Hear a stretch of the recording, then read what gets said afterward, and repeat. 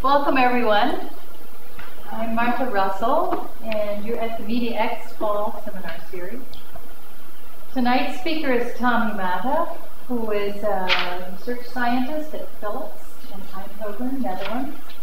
He is working with um, Hamid Aghajan here at Stanford, and um, his background is in um, fusion mechanisms for being able to capture human shape and activity in wireless camera networks. Why is this important? You're going to hear this tonight. Uh, and uh, it moves forward uh, the ability of people and technology to interact in ambient intelligent environments. Uh, Tommi's been coming to Stanford for a couple of years now as a part of the PhD that he's taking at Eindhoven University. And we're very happy to have him today to talk to us about distributed camera networks. Thank you. Hi, everybody. I'm Thomas. Um, I'm a PhD student in Eindhoven University of Technology. I'm also uh, working as a guest at the Philips Research Center in Eindhoven in the Netherlands, and also, of course, here at the electrical engineering department. And well, I'm keeping today quite low on technical side my talk, but more hopefully convincing you guys also education. Um, so let's look into camera networks. Uh, camera networks in the sense of actually focusing them, their use on monitoring people. Uh, my research has been more looking into data fusion in the sense that we have multiple sensors giving you rich, rich uh, data or whichever environment you're looking into, and then also some application concepts you've been uh, developing related to where these uh, lever systems could be used in the future as well, in addition to, for example, surveillance nowadays as well. The cameras. Uh, small introduction. I wanted to sort of start with looking at cameras and computing and wireless communication. So cameras, of course, started black and white, like first movie started in 1809 with uh, 1908 with the uh, train, train robbery. Then we have Citizen Kane by Orson Welles. Then of course It's a Wonderful Life by James Stewart. All of these were wonderful black and white productions. Well, then we wanted to sort of lighten, lighten it up a bit, make it a bit more diverse for people. So uh, we had color, and better color, like Gone in the Wind in 39, had already quite a good better color. And of course, then pen per time, the, the process will come much, much better. Uh, well, then already, actually, in the 1950s in American cinema, they also had 3D cinema. So, of course, they, you guys had it here already. Uh, I didn't know about it ever. Just a few months ago, I actually realized that the 1950s here in the States, were showing people in some form uh, three-dimensional uh, movies, which now has only come to Europe and uh, the other continents lately. Of course, these are all are the have been uh, introductions to the camera imaging technologies, like the color first, being able to use like color filters to capture actual uh, emitted uh, color from the environment. And then, of course, uh, nowadays, either they use multiple cameras to, based on disparity, to capture the depth and then create a three-dimensional, or they do afterwards through the 3D conversion, which then more like software cracking of understanding what is, the objects are, and their relative distances, etc., and then creating the depth afterwards. So those are just the basic two mechanisms. That's right. Either by hardware or the later For latest trends cameras have been, for example, this wonderful looking ball consisting of 36 uh, cameras um, around the ball. This is then a throwable ball, which you can throw in the air and then capture at the same time to all the directions, and then it basically creates a 360 panorama for you of wherever you have That's pretty cool, right? Then there's a Lytro. Uh, Lytro is also a very small device with camera. Uh, by single press of a button, you basically do take one image, but then this one image is actually a snapshot of different depths of focus.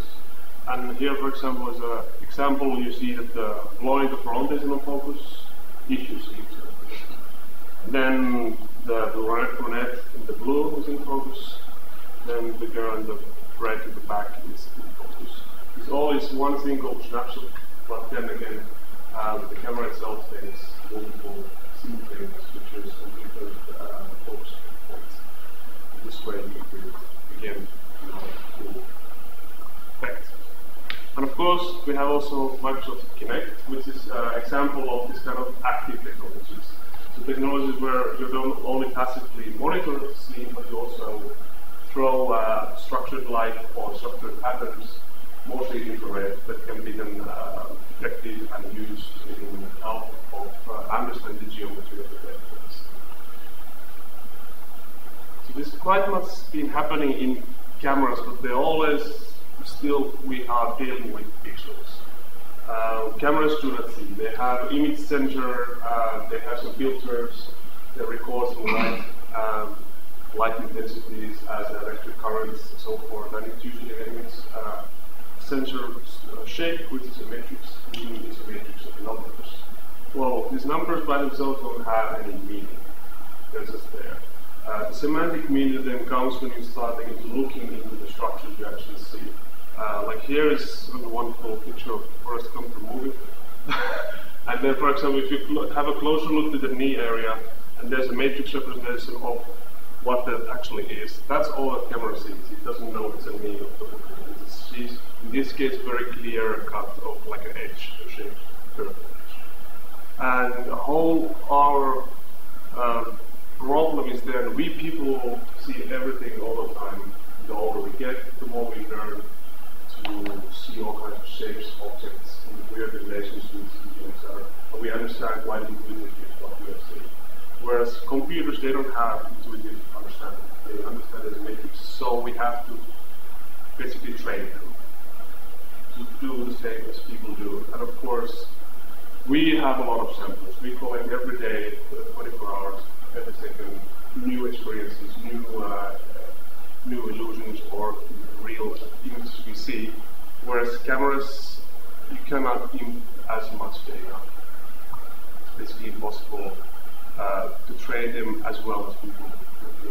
So basically the models you try to use to train the cameras to understand have to be much clever than actually people listening.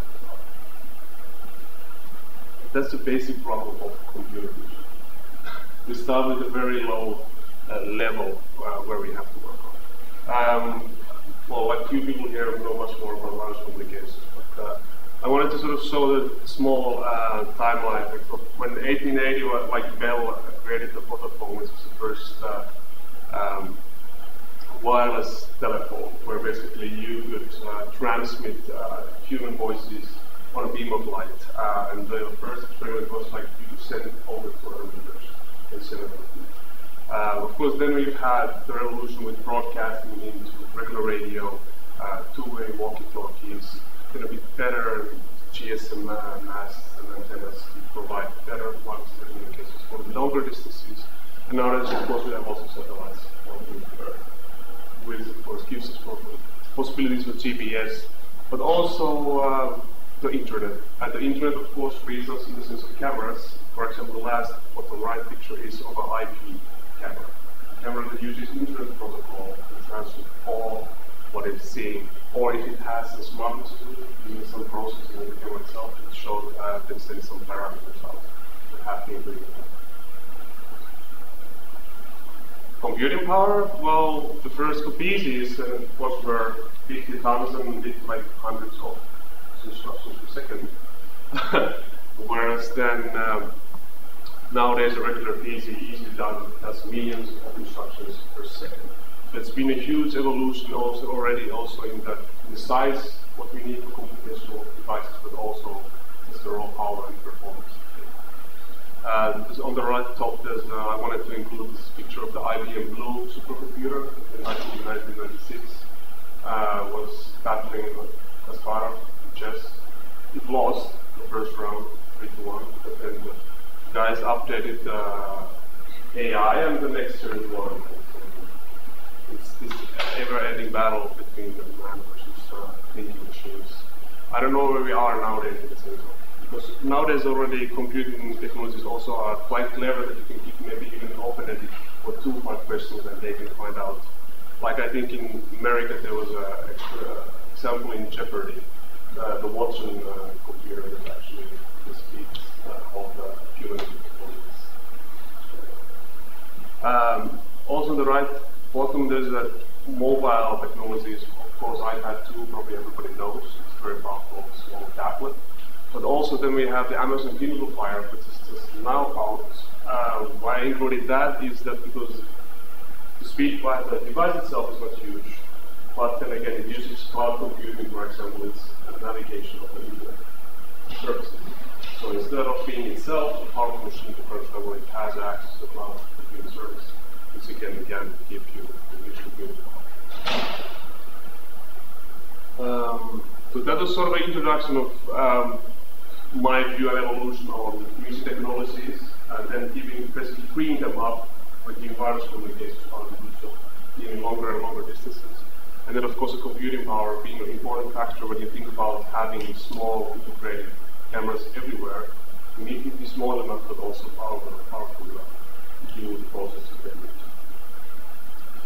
So I'll, for a bit further now, elaborate on the motivation uh, behind my PhD research, uh, look into some multi-view data uh, related aspects, and then also some experimental results, and let's finish on some uh, conclusions I've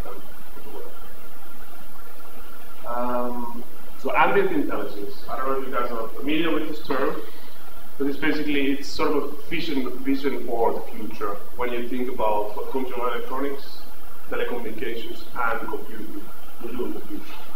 Uh, we hope it will be that these electronic departments are there to help you, to support you in your day-to-day activities, because they are aware of what is happening. They're sensitive to the environment, but also your actions and presence.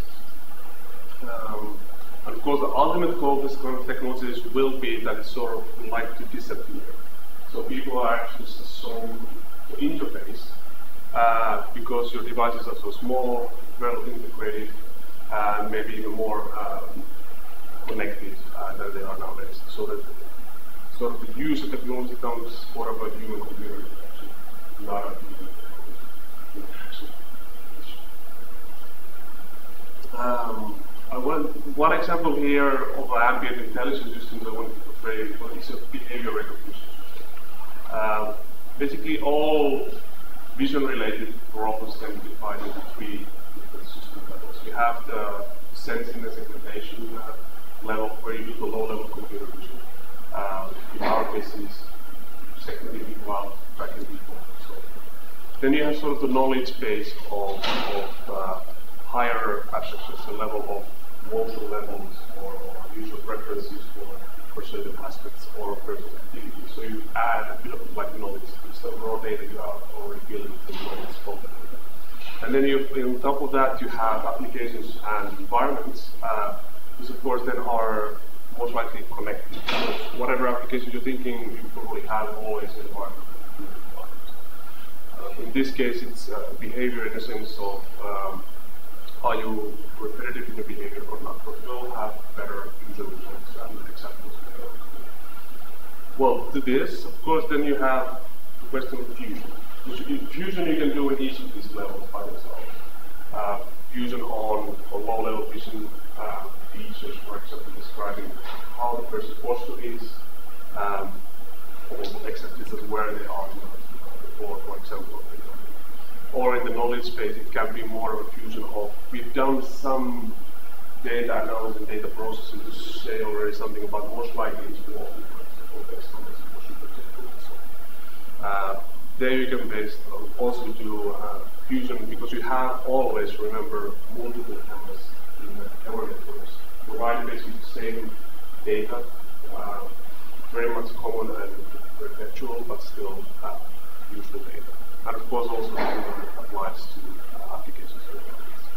You sort of try between uh, in, in between in levels themselves, but also between levels to find good mechanisms to fuse uh, also, I wanted to exclude, uh, just include some examples of, of what could be some image features or image measures in a, in a maybe when looking into people. Um, course, you have to first of all detect people, and of course, if you detect, you're able to maybe put a template on, maybe make a segmentation, combine these two to be a bit more sure about your uh, person location. Um, in addition to that, you might want to also maybe describe the posture of the person. Is it upright? Uh, in the sense of, in the top right, you have sort of a bounding box, if you can see that. In the middle, the silhouette picture, you have uh, uh, posture, how upright it is, and then do we have median coordinates. It's a very rough measure of this general motion rather than what the person is. Uh, these are some examples of how you can approach uh, the low.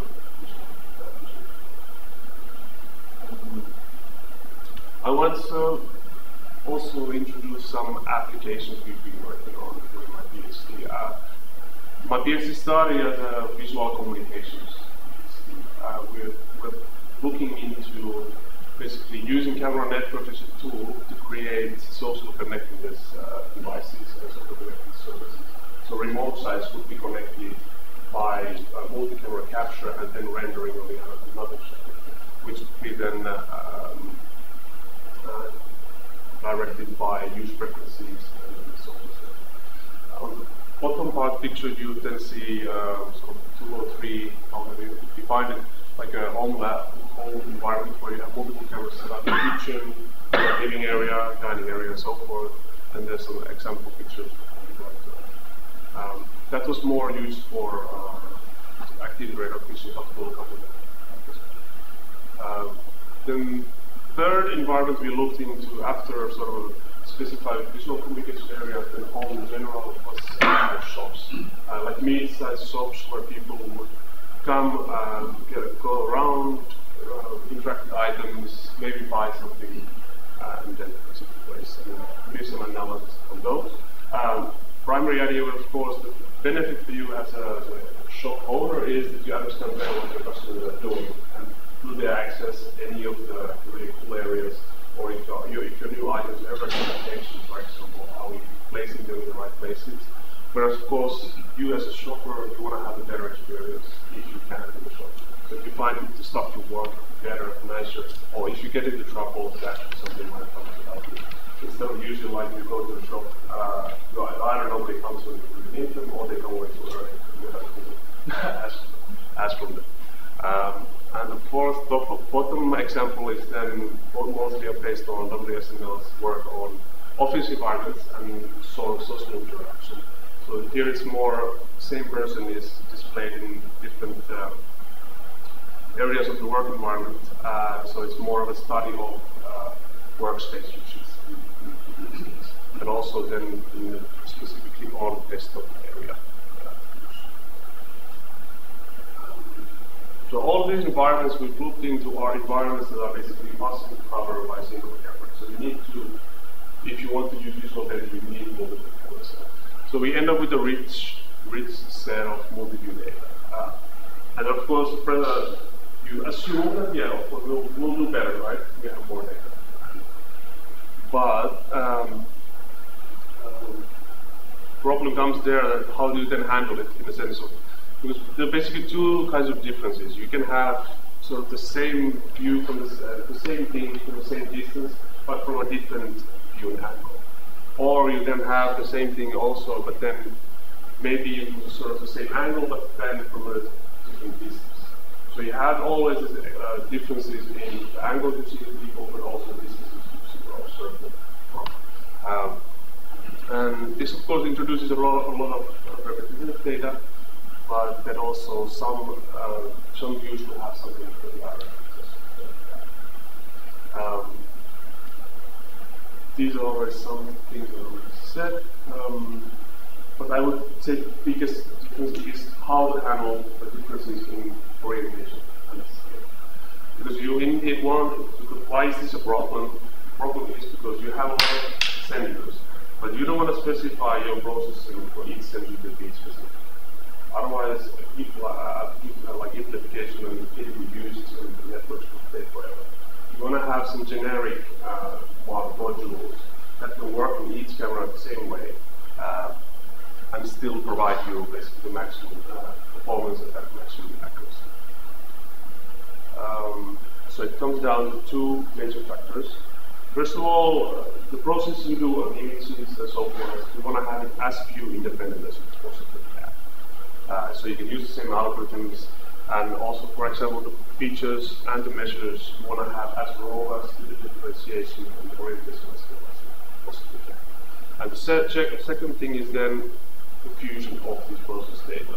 Uh, you want to be able to do this in all system levels, but also then still account for the violations you might have in the uh, processing of the existing cells, because you are targeting 100% pure independent processing, but you never get there. So you still have to have mechanisms uh, to sort of detect when we are violating something and maybe counter those effects. Um,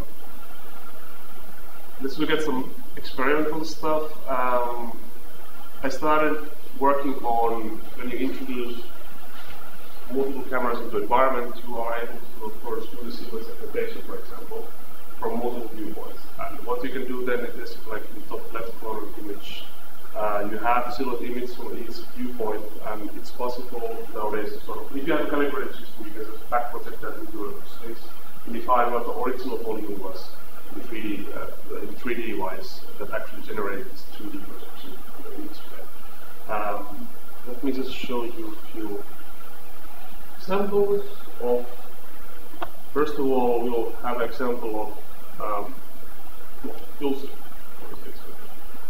It's a guy doing a jumper jack and stuff. Uh, it's basically volume volume capture, uh, but connected to that. Um, connected to that, you also had scene detection. You are also able to sort of portray what are the most likely uh, uh exposed to uh, saw the heat that uh, This is basically exactly the same sequence, but now you see a voxel reconstruction like it was before. Um, first of all, this time it's shown from this one single issue.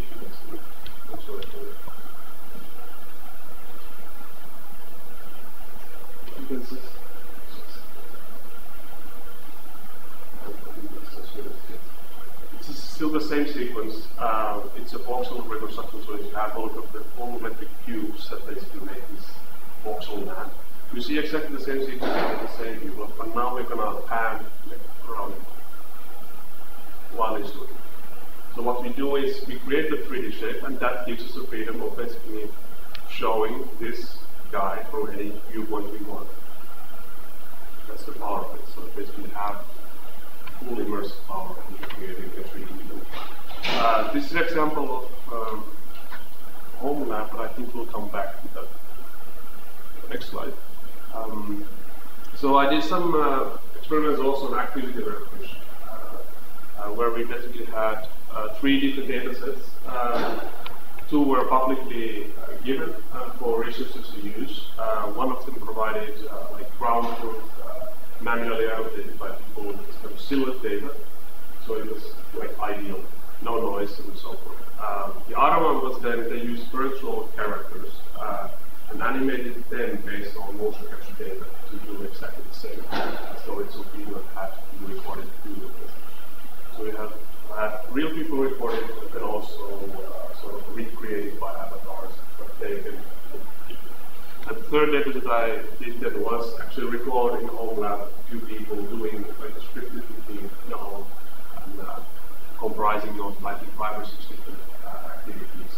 Activities being walking, standing, sitting, and then also standing, interacting with something, or. You have five different action classes you understand what people do. This. This video was. So this is sort of an example of the home lab environment we have at Philips Research Center in Eindhoven, where basically a lot of different studies are done, uh, not only camera related, but also like lifestyle, living, as well, and lighting as well. Here is your sort of example of camera views. You have the kitchen, then you have the transit area, dining area, family the uh, the living room area. This is a very simple uh, group in your.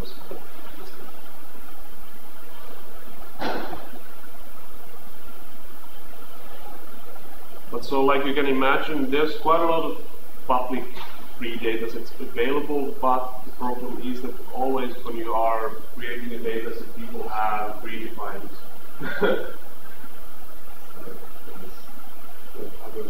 um, uh, people have predefined assumptions on what we're gonna want, wanting to be doing with the data. So you create a specific uh, data with the specific actions or action sets, and then that of course limits uh, your freedom as a creature to look the data. Well, I'm interested in these actions, but what do you have there? You might have a subset of those, so you end up combining some actions or you end up taking something away. And that's always the problem of using predefined action sets. Um, so in that sense, I've always ended up making my own uh, data as well on the side. Just have my own uh, reference. Um, here are some numbers. Uh, those are sort of examples of if you use a single view of all the views we have in the environment. In the home, you had areas that were covered with three cameras, some areas with two cameras, some were only one, depending where you are and where the cameras were located. So you could get around 80% in accuracy of detecting one of one of one of at least one of the five actions the. Um, then you have an example here of um, using all the data you have at the time. So it can be either all the three or the two or the one input into you. Uh, Mars and Bihas were the clean uh, so they don't have any uh, uh, robustness issues or, noise and so forth. Uh, there, the best performance was achieved by doing the fusion in the features themselves. So features that describe the motor motion of the person, like walking speed, all the and so forth. Uh, whereas then, if you look into more into combination data sets or the whole level, processing noise and so forth, the, the scale tip that actually not anymore feature precision or feature combination was the best. It was actually better just to go as far as deciding what we think actually activity is, and then only combining just decision that these follow. So there's a bit of a trade-off on feature data was good to combine uh, when you had like a sort of uh, like a clean control environment, whereas then when you introduce variation in versus shapes and uh, in the icons used, uh, then it was actually better to go individually the whole process and say how to your actual decision or activity, uh, and then only combine uh, these results between uh, one thing I wanted to do on the databases was actually look into what if you had like a best you can have single view. So if this was a single view that could give you the right feature or the right decision, and we would know just use that one and forget about the rest.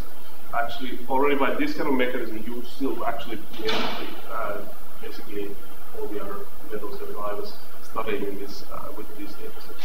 So you would end up in 93 to 99 if you had this kind of oracle saying each time, for all these three, this is most likely to be If there was one, give the right uh, the, the, whole idea. If there was one, to give the correct result, you would use that. And so you are able to go even by a single view selector, very good performances. But then again, what are the criteria you're going to use?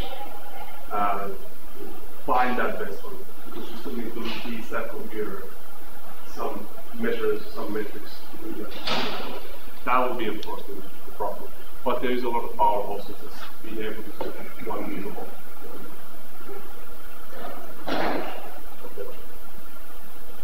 um, in the shop environment that I showed before, um, we did some recordings in the shop lab itself, uh, which is an L-shaped uh, mid-sized clothing store with three cameras observing. Uh, and then also did some simulations uh, to provide a bit more clean data than was possible with uh, recorded data. And there we did some, uh, basically of course detect, track people. Uh, in this case we also ended up quantizing some of the locations, uh, recording them in a, in a matrix of precisions, and using this as a, as a way to approach sort of the problem of how to detect repetition. Uh, repetition was in the sense that we assumed that you are you are shopping and whenever you encounter a problem, you start repeating yourself. You start repeating yourself in the sense that you actually start staying way too long in a certain area. Or you start repeating yourself in the sense of you return to some areas you've already been, but there's really no structure in to monitor. Or you actually start moving between two or three different regions that clearly had something of interest in those two things. Maybe you're even comparing some products. But you still get into this area and time when maybe a system is buying an automated system or is a custom uh. Um, uh, this is the simula- on the simulation data um, on two classes. So one is just detect the time uh, if you get into a repetitive loop of some kind, either staying, returning, or, or actually looping. Uh, we got around 70% uh, accuracies, and then on the shop lab, which was the real recorded data, we got a bit lower than that. Um, so the actual percentages we got were not that good. But then again, the whole approach on how we do the vision and the quantization and the representations, and then try to look into how does the repetition manifest in this consistency. That was pretty good in the sense that it seemed quite robust into vision. Like I started at the start, viewing the tendency, that's a big deal, try to deal with that, now we're looking with Lewis here in uh, WSNL on happy office, we call it. We call it think, healthy office or something very clinical. But, then we thought, like, let's make it a bit more uh, um, joyous occasion. Um, there we look into office environments. Office environments in terms of ergonomics, uh, ergonomics in terms of how people work, uh, um, how well they perform in their work. Um, Another thing was the general workspace usage. Uh, how much, for example, do you sit by your desk, or how much do you get around? Because there was a nice article and study on is sitting on lethal activity, which is quite interesting. But apparently, they're supporting your study. 123,000 Americans. and says that if you spend sitting down more than six hours, you have 20% higher uh, overall mortality rate and from it is 40%. So sitting down, kills you. Uh, so in that sense, it's good to keep mobile in office environment. Um, another aspect, of course, is that the office is, is social interaction. Uh, and there was a nice study on this as well, a 20-year study on a bit less, 820 people only, uh, looking into control risks of smoking and obesity and so forth. And also there, basically they found made only one trial discovery for themselves, but they found is that the mortality is significantly lower if there is enough social interaction, not social peer support your office So it is actually quite important. It doesn't make you only as a, more effective, more productive way, but also gives you some point in yours. Uh, in the bottom row, we have three pictures of uh, example of how we how Lewis uh, originally had uh, located this uh, based on proximity of uh, employees and also their gaze direction. You'll try to deduct when people are engaged in discussion and analysis on which ones are socially connecting, which ones are not, and how the whole social map in, in office. Um, actually, I'm wrapping up already um, some belief that I have uh, now after three or four years of working with camera networks are that monitoring cameras are here already and they're going to stay and gonna, the number is just going to get higher. Um, like for example in China, there's already 7.4 million CCTV cameras based on the statistics I saw. Uh, that means sort of one per 400,000. Uh, that's nothing compared to the Big Brother uh, where you had a camera for every 40 every 40 uh, so there's been a huge discussion, especially uh, you know, of course, due to this uh, on security versus privacy. Of course, nowadays a lot of the camera networks used are used for surveillance purposes, right? They are in airports, they're in Uh, like today, I noticed in Bytes Cafe in Stanford, uh, there's four surveillance cameras. That's all there in what is that, six feet, five twelve feet area. Monitoring there. This, this case, I assume uh, employees themselves for a possible theft, but also for the security of some external cars. Um, so in that sense, surveillance is a hot issue nowadays, but we're, with ambient intelligence, we're actually trying to provide services that are proactive and help your quality of life. So they are not as critical as, as you say surveillance is, but I think we have so many problems nowadays getting solved that we can already start focusing on. That's quite a lot in the quality of life getting by on day. So this of is building on that. Um, well, there's always a talk about uh, acceptance because who would like to have their home motion temperature? Watching, like I showed you the video clips, many, many people um, watching, but then the issue becomes you have motion sensors everywhere, right? You walk around places and automatically some things come up and then we know, oh, it's a motion sensor, that's right. This detects your presence, but how do you know this detects your presence? This is a record video you walk around.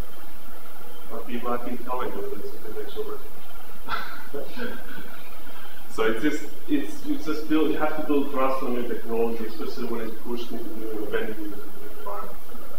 And of course nowadays if you look at Google Glass and Skype and the amount we are all the time increasing the use of video and all kinds of purposes, I think uh, as long as security issues can be issued in a sense that you have policies within who can access the data, where is it transmitted, that you can see what is being transmitted, uh, and also what is being recorded or later used. As long as that sort of makes translucent for yourself, you can build up uh, confidence that your system can uh, accepted as well. Um, so far, I've been always using my research passive cameras. Uh, so cameras that sort of don't just uh, portray or intrude in the environment anything infrared, so forth. Like the Kinect nowadays is very good in detecting human posture, human gestures, uh, based on, on stuff at there, detecting the infrared reflections and the building, for example, in its case, 25 points, 25, uh, 30 times per second, which is pretty impressive. It works really good when you're up, at upright. If you, if you sit down, it already has problems, that's something that the software can um, and I think there's a huge potential in ambient intelligence. There's a lot of projects in energy-aware buildings where presence can be used to minimize the energy use air conditioning, heating, lighting, and so forth. Also elderly care, where uh, people basically cannot be monitored and not, cannot be 100% safe in their house, they can have this sort of system if they do up in situations. They would be, they would be triggering a system that can um, and also, of course, we always will have really cool stuff, meaning gaming, uh, immersive environments for crews, uh, also 3D, uh, 3D cinema coming up. But I believe also the uh, introduction of more immersive environments, mostly to, to more immersive visualization, more immersive uh, rendering of the content you have available. Thank you.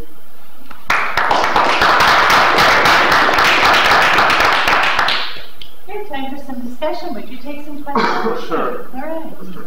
You, you call the hand as you see. Ah. Come on, Jonas, you must have started. Uh, I can ask you a question. Uh, is there any reason not to use active cameras? So uh, you've been using only passive cameras so Yeah. far. Was there a reason for, or what was the what was the reason behind that? And are there disadvantages to using active? Cameras? Basically, first issue, of course, is the cost. Uh, you can, nowadays I've been using it to record data sets as regular webcams. So you can imagine it's 50 to 30 bucks. per- And then you have the box, you just install it, connect with USB, easy to easy, and then you have software connected to a radio. Um, whereas these active sensors are still a bit on the pricey side. uh, much. Uh, I would like to say why I ended up in this. Of course, I've been interested in active as well, but I mostly work for Philips. Uh, Philips is not a surveillance company, so they're not pushing for expensive cameras. They're pushing in, in the sense of we want to have a product in the end that can be in the box that can be shipped and can be installed directly to makes sense. Yeah, but, But then again, you add you add a lot of price to, uh, but you add a lot of price to the unit. Per, So per item is always ten times the cost, right? That's not the. Could you clarify what you mean by active camera? Active camera is sort of um, a camera that also has a light emitting sensor. So it's uh, basically in the Kinect uh, sense, I think it creates this kind of grid, grid of lights uh, by infrared, which basically shoots and then looks into the deformation of, of such light. If it's a flat surface, it's a state of the light right. But if there's an intrusion, it will create basically a bit of a pump of the light. And then it just uses a lot of, uh, then it captures, of course, this. So it throws something out there and only specifies in detecting how does, how, do- how does that uh, be transformed by the environment. It goes. It takes that and then it uses clever algorithms to get what kind of depths are we talking about and what kind of shapes. and all that stuff. So I'm sorry, you said Philips is not interested in surveillance? No. What, what markets? At least not three years ago. Yeah, what markets is Philips? uh, Um, Philips is in the health, uh, lighting, and well-being. I would say. Jonas can come up. You are free to join us. No, yeah. Because he's also similar uh, PhD. Uh, Yeah, Philips has uh, it's basically three main uh, sectors: uh, consumer lifestyle, consumer electronics, um, healthcare, and lighting. So there's a lot of healthcare products, for example, all the imaging, X-ray, so forth. Most likely go for Philips if you work with any hospital. And I think Tommi's work is mostly in the consumer lifestyle area. Which again, is actually one of, I think that's again one of the lifestyle of all sectors. So they're really heavily focusing on it, of course. Um, As you have the multiple camera angles, uh, in theory, you could uh, channel those images into some sort of computer analytics and and classify the images that you're seeing in some way if you have the right algorithms. The Department of Homeland Security often talks about how they look for um, suspicious people Hmm. uh, in you know, airports and things like this. And they have luggage as well. Sorry? They have luggage also. That's why they say you should not leave the luggage because they will have Right. algorithms especially for that purpose. If somebody leaves it there and doesn't come back in 25 minutes, it will be marked by the system. Exactly. So, so in theory, your, your system could be used with the right back-end analytics to um, uh, pull up something that could be of, of interest, and then it could be viewed by a human to determine if it's in fact an actionable image. Yeah, you can, you can always make sort of a draw between how far you the process you go into uh, some of the hierarchy traction on sense of are we seeing something abnormal or. And that can be already you could maybe copy up for the monitor if you want to keep the person in the loop. Because there's always the person is still the best in the end to make the final decision. So do, is that something that, that you could work on, or you, would that be some subsequent uh, add-on technology that someone else would work on? Definitely is, uh, like ground monitoring in the sense of airports and so forth already quite well done. Because they look at optical flow and, and how well the architecture sort of supports uh, the volume of people coming in and out. Uh, and also looking the sense of if light breaks out and so forth, that you can detect this kind of abnormal group behaviors as well. That's already there. So I think there's a lot of stuff because I've been mostly looking into people, I just trying to detect people. Uh, so in a nutshell, describe them, their most important features for us when looking into the application so that we can apply. So considering your, your sponsor is not interested in surveillance, right? Looking, looking at other, And then, yeah, as long as it's with people, I wouldn't want to start looking into detecting a certain kind of suitcase. because that's sort of factory line work. Uh, Right. In factories a lot you have lines, production lines, where you know exactly how the product is looking. Right. So you can create a very good template, for example, to match that Easter crack, for example, in uh, the one the chicken, can be on the pizza. That's sort of, for me, not uh, captivating enough. But then again, people are deformable, we are so various in sizes, shapes, motivations, goals, intentions. That makes it a bit more dynamic, much more difficult, but again, The, the, the question around, around uh, non-surveillance is around, um, do you know of any work being done in physiotherapy or in sports around the uh, analysis of behaviors over time and the results of those behaviors against data that's actually very rich, such as medical records, sports, sports scores for fouls, etc. I don't know of that extensive of a behavior uh, which matter of the statistics. I know some work on, for example, like using using uh, use camera networks for detecting how good your baseball swing is, or how good your throwing technique is, or how good your car swimming is uh, compared to. Actual longer all the time uh, gathering of this as a behavior. I don't know. I don't know such a Do you know some? No, that's what I was asking, and especially not from the individual, where there's been a lot of focus, but in the groups. Because it's, it's something that's uh, it's highly competitive in the sporting and entertainment industry. The group dynamics. For example, in soccer, for example, what activity is happening on the field away from the ball, Mm. and how does that affect the performance of the team over time? And then physiotherapy, walking motions that people are doing compared to the problems they're having with their feet or their backs. That kind of thing I was curious about.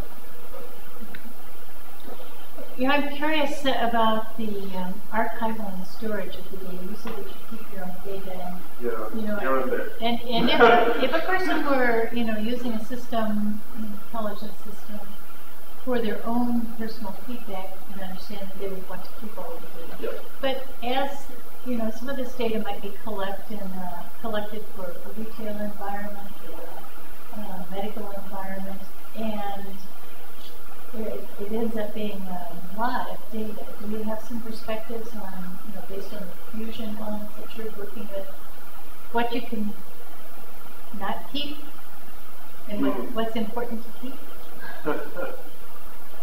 um,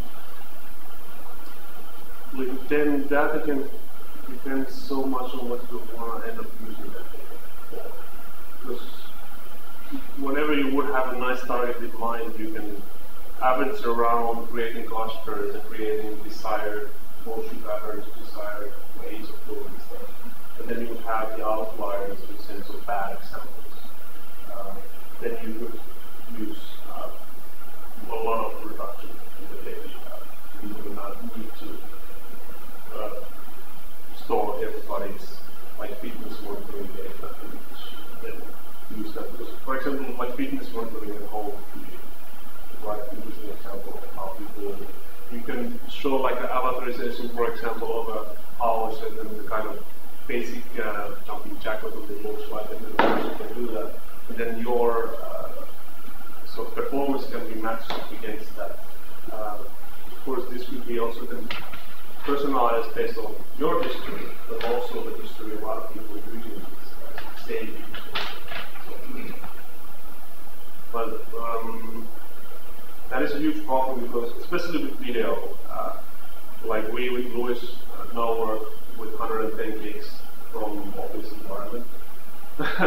uh, we decided to just record everything. And so instead we have a chance, of course, reduction of the data, knowing already where we want to go, sense of just really reducing, creating some text files that capture the essential and then getting But for research purposes, it's saving the video so so good because you can end up using the video for very purposes.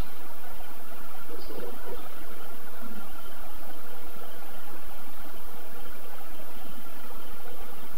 Have you thought about uh, incorporating other kinds of sensors? So, for activity recognition, I can imagine Hmm. that you can use a microphone to hear if somebody's walking or something like that.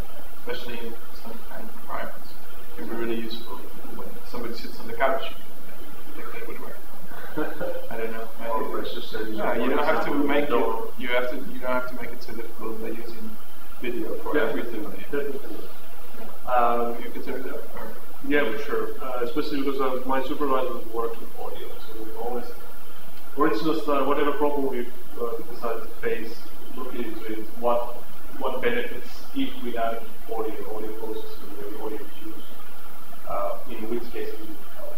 Uh, and definitely you can see the power immediately. Uh, of it simplifies some problems that by vision might feel really difficult, or almost impossible.